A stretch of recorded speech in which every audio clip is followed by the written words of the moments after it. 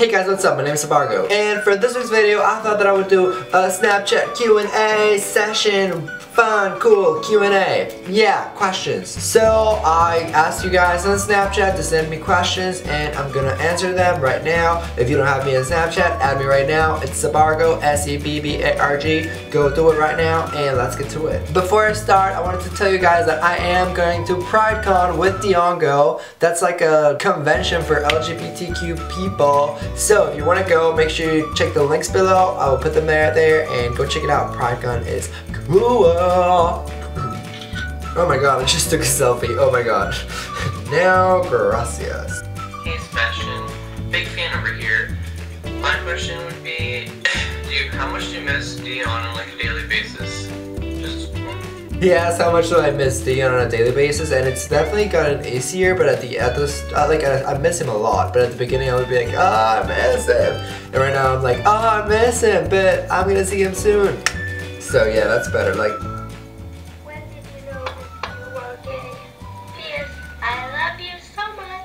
Oh, I love you too. Anyway, she asked when did I know that I was gay or bisexual or whatever. I'm bisexual. Guess you can like always know, but like society makes you like block it, you know? So like in my opinion, I think that I always kind of like had a thing for guys and girls, but I never really knew that it could be a thing. So I was like, no, that's wrong. I only like girls. And then all of a sudden I was like, you know what? Whatever. Bam, come everyone, kiss me right now. That's that's how I see it.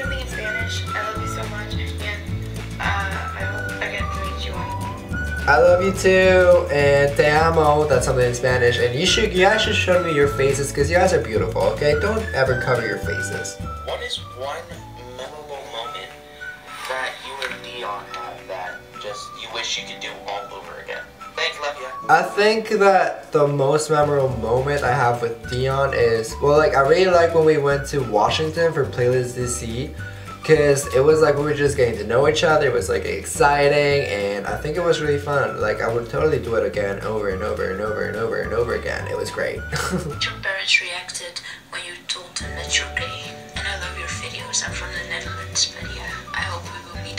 Yeah, me too. Thank you for loving them. I love you. And my parents' reactions when I told them that I was bi, they were like, at first they were like, oh no, what is this? What is this new world you open to us? And then my mom was like, oh no, there's no such thing as bisexuals. And then my dad was like, oh no. Yeah, like they were, they freaked out a lot. that was a good dramatization step. I was wondering if you love One Direction, and if you do, who is your favorite?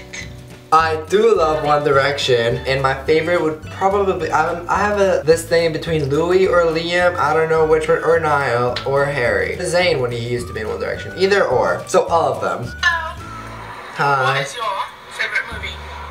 My favorite movie, that's so hard. I don't think I have one. I had like a million. I love White Chicks. I love Mean Girls. I love The Amazing Spider-Man. I love Jurassic World. I love all of the Jurassic Park movies, TBH. I love uh, Stuck in Love. I love that movie too. I like all movies, so all of them. Hey Seb, my question for you is what's your favorite country? My favorite country, that's hard. I have a thing for France, because like, I think it's really cool. But honestly, I just love all countries. I want to travel everywhere before I die. So, the world is my favorite country.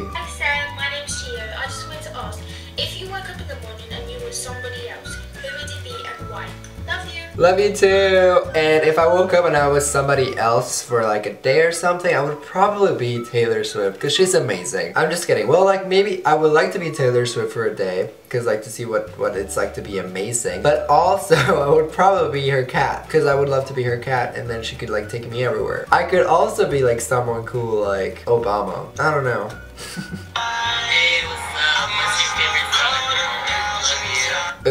I love you. I love the feeling you've got going on. My favorite song at the moment would probably like, apart from Taylor Swift, because I think I made clear that I love her, probably Love Myself by Hailee Steinfeld or Sorry by Justin Bieber. It's just songs that make me, like, want to dance in the club, you know? Anyways, those are all the questions that I'm going to answer today. If you like this video, make sure you give the video a thumbs up and comment down below any other questions you might have, and I will be answering them right now. Make sure you go check out the links below for the PrideCon thing and for all my social links. And I love you guys. Thanks for watching, like, share, and subscribe. I love you guys. Bye! That was Spanish.